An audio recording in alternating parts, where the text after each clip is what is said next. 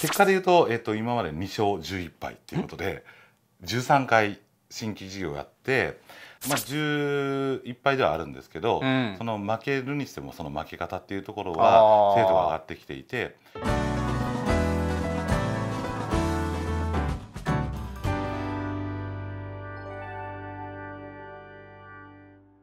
はい。山さんあのはい。ジャパンストックチャンネル、はい。過去のお回、うん。何か見てくださいました？ああ見ましたよ。本当ですか、はい。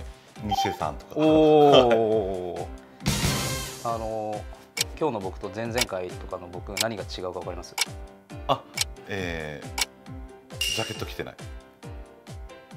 三角です。ああそうなんですか。T シャツが新しいんですよ。あそうなんですね。これまだあの IRTV っていう、はい、ロゴが入ってたんですけどあーなるほど。はい。ちょっと新しく作りまして今日からすごくこれで、似合ってますよ。はい、すいません。関係ない話で、はい。えはいはい。でですね、えーとはい宮本さん第2話であのおはい。見合いの話をぐっとあの深掘って聞かせてはいいただいたんですが、え創業事業のアフィリエイトから、はい。そのお見合い事業を、はい。まあ、スタートしたとはい。いうところで、まあまあまあ飛び地だなっていうのもかか感じたんですけど、はい。狙い撃ちでこれだけ当たったのか、はい。なんかもしくはなんかいろいろやってたのかとかあなんかその辺がちょっと気になったんですけど、あまあいろいろやっている中の一つがまあお見合いだったっていうことで我々その会社のビジョンが残留バリュープロバイダー、うんインフィニティインターネットということで、うん。まあ、インターネットの領域で、えー社会に新しい価値を続々とまあ提供していきたいというふうに思っていてですね、創業来えーかなりまあ新規事業っていうのを実際やってきてるんおですね。ー。結果で言うと,、えっと今まで2勝11敗っていうことで13回新規事業をやって、まあ、今のアフィリエイトエージェント事業あ。とお見合い事業っていうのははい。まあ、うまくはいいきつつあるんですけれども、えっと、13個のはい。事業にトライしたってそうことでか？なんです。はすごいですね。い、もういろんな事業をやってきたんですよね。まあ、その中で、えーまあ、未だにこう続いてきて、まあ、成長してきてということで、えー広告事業と、えーこのお見合い事業っていうのがあると。あやはりその広告事業をやって、まあ、少し利益出てきた新しい事業やってみよう、うんうんえーもう少し広告事業利益出てきたんで、うんうん。もうちょっと大きいことに今度はチャレンジしてみよう。あダメだった、うんまあ、そういうのをこう繰り返しながら、うんうんうん。えー広告事業で1億を超える利益が出てきた時に、うん。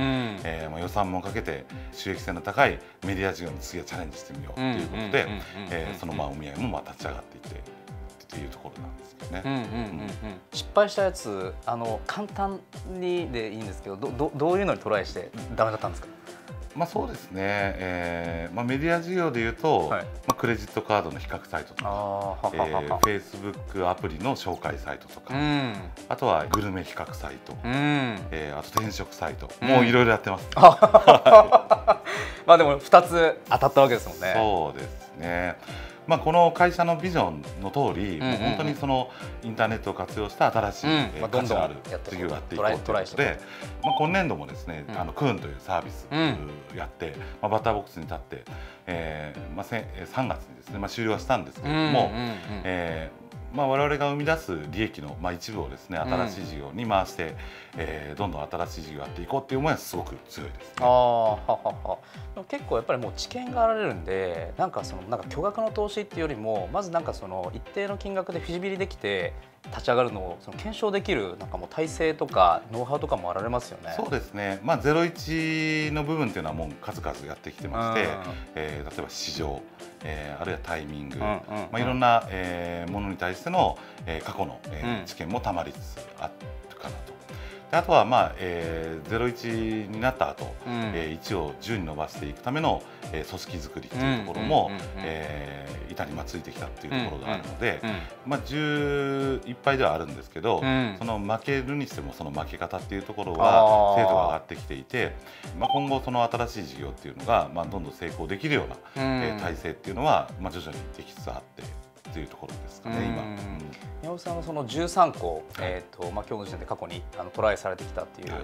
お話ええされてたと思うんですけど、なんかポイントというかなんかその法則性みたいなのってなんかあったりするんですか？宮本さんの中での。そうですね、まあ、2つかなと思っていて、まあ、はいその新しい事業をやる人の、まあ、パッションの部分ですね。はい。担当者責任者。そうですね、あえーまあ、一番重要な部分、ーうんうん、人ですね。人ですね。はい。もう一つが、えー市場 なるほどなるほどなるほど、まあ、こうどんなにパッションが熱くてもその市場がまあなければ、うん。えー川釣りになってしまいますので、うんうんうん。えーまあ、川釣りなのか、えーきちんとこう魚がいる、えー釣り堀なのかまあそこの見極めをしっかりやってきちんとまあ魚がいるところにこうルアーをえー落とせるかどうか、まうん。あ、そこがすごく重要かなと。海が一番いいですよね。海あ違いますはまああのそうですね。てか広すぎ。広すぎ。広すぎ。なるほど。しっかりとあ。着実に事業を立ち上げられるようにはい。狙いを定めて、狙いを定めてですね、はい。行くべきかなっていうところであ。今もう11杯やってますかああ。ら、はい、じゃあもうあのネットマーケティング社の社内では、はい。まあ、宮本さんあの筆頭に、まあ、どんどんそういった新規事業は積極的にトライしようみたいな風土もそうですね。もあると。まあ、社内でも新規事業の、えー公募をやるような仕組みも過去やってましたし、まあ、今も、えー事業塾っていうことで、はい。新しい事業を立ち上げるための、えーセッションみたいなのをこう会社の中でもやったりとか、はいはいはい。まあ、そういうこう文化は、えー根付いてて、うん。新卒の、えー人たちも、えー新しい事業にチャレンジしたいみたいなことで入ってくる人たちも結構多いです。ああはははははさんなんか今、うん。ネットマーケティング社で仕込んでていけそうかもみたいなやつ、うん。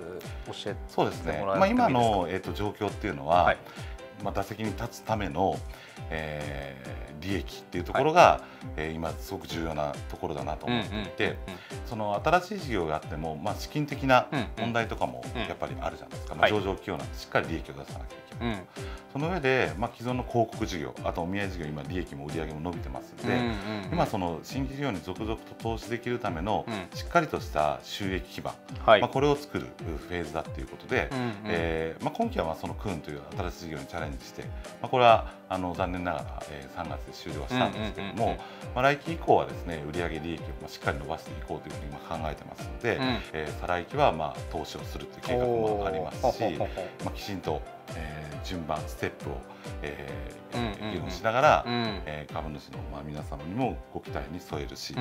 えー沿わないといけないと思ってますし、はいはい。会社としてもしっかりと新しいチャレンジは続けていく状況を作っていきたいというふうに今考えているなるほど。ところですね。じゃあもう第三の柱は間もなく作っそうですね。ね。第三の矢を、えーしっかりと打ち出すための、えー収益基盤、基盤。これを基盤をしっかり作る。なるほど今そういうフェーズあが入ってるかなとあ思います。中期経営計画にもあの出されてたと思うんですけどじゃあもう本当3本目の、えー事業をちゃんとあのビルドアップしていく今土壌をしっかりと作っていくっていうとそうですねころですね。はい。まあ既存事業のまあ広告事業、見合い事業ではい収益基盤しっかり作っていきます。なるほどはい。